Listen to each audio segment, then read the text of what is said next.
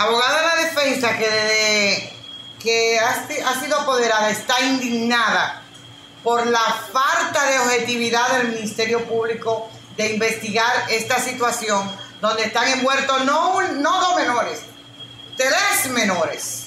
De que el Ministerio Público al momento de recibir una denuncia tiene que investigar. Y máxime cuando le envían un certificado médico que ha pedido él que se le haga ese perticio, que no ha sido otra persona ajena al proceso. Y él resulta que envía a certificar las lesiones de la menor. ¿Y qué le dice la menor? ¿Qué le dice el médico legista? Que esa niña padece de alopecia aguda. ¿Saben lo que es eso? Eso es una cardicie en toda esa área. Pero yo le voy a dejar en la de todo lo que han satanizado a esta menor, que cometió un único error, único error, y fue hacer ese bullying que hizo con el pelo sintético, que no es pelo humano, pelo sintético que tenía pegado ese adolescente. Que las agresiones que recibe la menor, quien se la hace es la niña de 14 años, porque ha sido un impacto social. Hasta yo me imparté cuando yo vi eso, yo. Hoy me entero de que mi hija tiene alopecia aguda por esa declaración que dio la abogada final. Entonces, los, el cabello que se ve en la mano de la otra joven, un video, ese cabello es natural, no ese cabello no es puesto. natural, no es sintético, porque como se pueden dar cuenta, mi hija tiene pelo natural, que tiene verdad, porque fue el pelo de adelante que ella tapar. La sobrina mía estaba peleando dentro del liceo, Sí. con una prima de la... Sí. Entonces mi hija salió a defender a su primo.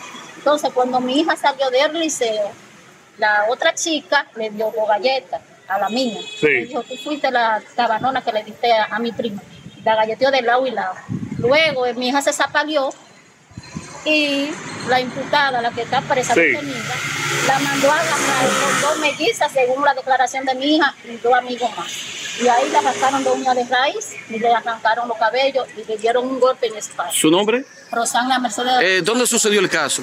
en las Cuba, la Eh, pedí que me enviaran la medida de coerción, la estamos imprimiendo, para en el día de hoy entonces solicitar un aplazamiento, ya que como ustedes saben, la adolescente que está imputada de este proceso tiene padre y tiene madre.